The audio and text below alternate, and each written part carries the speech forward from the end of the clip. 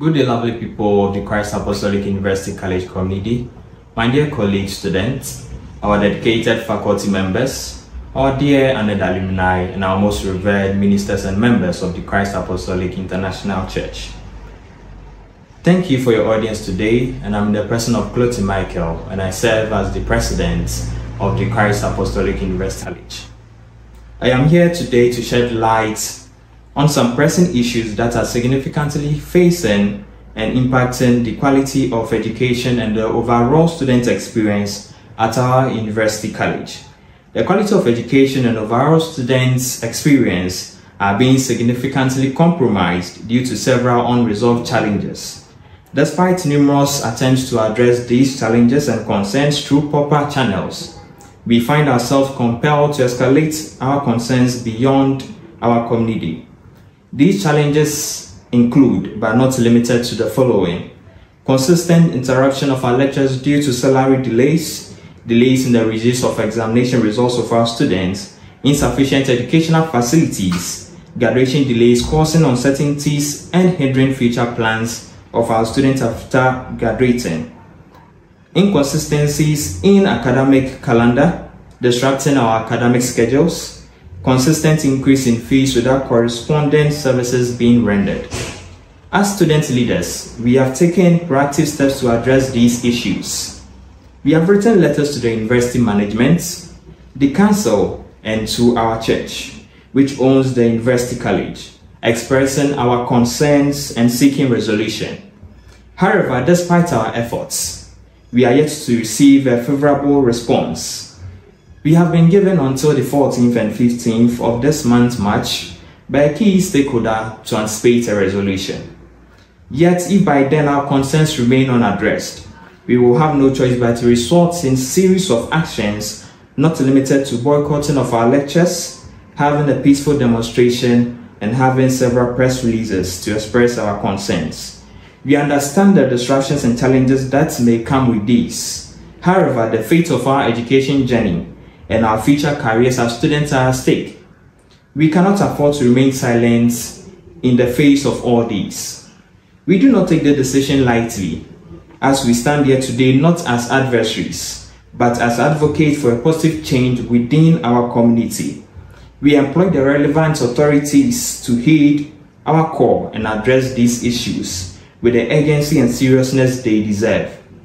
Responding to our petition sent to them as well.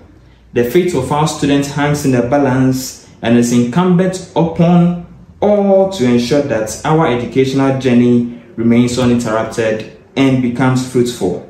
We employ them to help find a swift and long-lasting solution which is also effective to resolve the challenges we are facing. Though we face these challenges, I must say our university is undoubtedly one of the best private universities in the country as we have quality staff. To mention a few, Mr. Setosei, Mr. Simon Peter, Dr. Farouk Reverend Dr. Stephen Che, Mr. Sari, Mr. Joshua Kumi, Mr. Daniel Braham, and not to leave out the admissions and academic staff who have dedicated and demonstrated a high sense of commitment and loyalty to the university and as a result the University College has been able to produce many prominent people or personalities, including our own immediate past chairman of our beloved church, that's Apostle George Eboa, and we've been able to produce several ministers of the gospel and also an unnumbered alumni who find themselves in recognized institutions of this country and beyond. To my colleague executives and co-leaders, I leave you the requoted words of His Excellency Franco so I quote, Smooth seas never made skill sealers. Also, in this time, may it be said of us that in our time we bravely confronted the darkness that hindered our advancement, leaving lasting marks in the hearts of those who trusted in us, as quoted by the NUCS President, His Excellency Chemiopon Daniel. To my most respected dear students, do not be dismayed and don't let your heart be troubled as I want to reassure you that we are all in this together. Our stated programs and activities still holds, as this semester will be undoubtedly one of the best. Together as a united body like the clenched fist, we have the power to bring about the positive change we want to see. we are here in this particular season, in this particular time for a purpose, and we can make the change that we want to see in this time or this season, as quoted by my presiding elder, Elder Godfrey. To the over thousand alumni body, this is the time we have to unite and come together for the progress of our university and to support this course we are embarking on and also our decade project that's the BAS project. Let us remain hopeful that our voices will be heard and that the necessary actions will be taken to improve our university experience as students. My warmest appreciation to all the past SRC presidents and executives, as well as the students, alumni, and all who have been able to guide our thoughts and actions to this point in time. Dear members and ministers of the Christ Apostolic Church International, our university is our pride, our future, our legacy.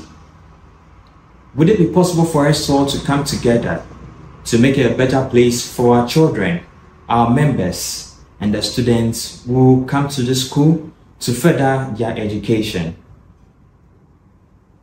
As I conclude, I would finally like to leave us with the words of the prophetic director of our church, Apostle Samuel Mensah. I quote, There's honey in the carcass, in that in the midst of all these difficulties that we face, greatness can be bet out only if we can look at that side or that positive side as well. Thank you very much. I will continue to update you of any developments that may come. Have a lovely day.